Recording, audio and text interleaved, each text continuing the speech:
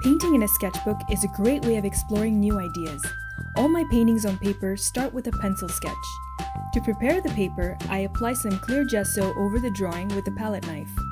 Gesso is a primer that seals, stiffens, and provides a toothy surface on which to paint. To simplify color mixing, I'm using only four colors titanium white, ivory black, cadmium red medium, and yellow ochre.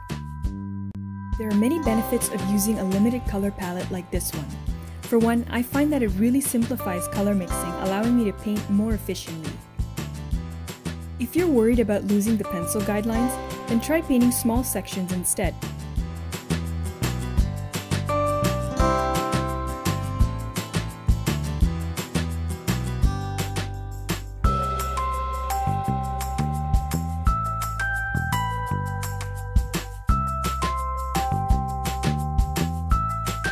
Now it's time to add all the details to really make this portrait come to life.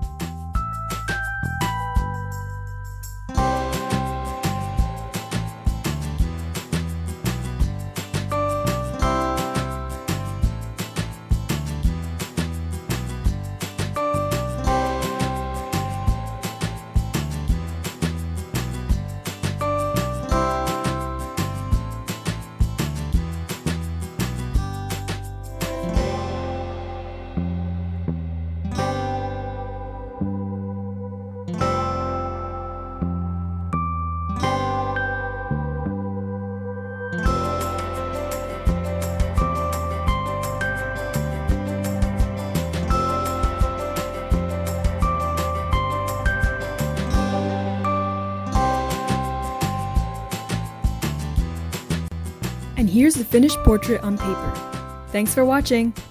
If you enjoyed this video, give it a thumbs up and subscribe to my channel for new videos every week.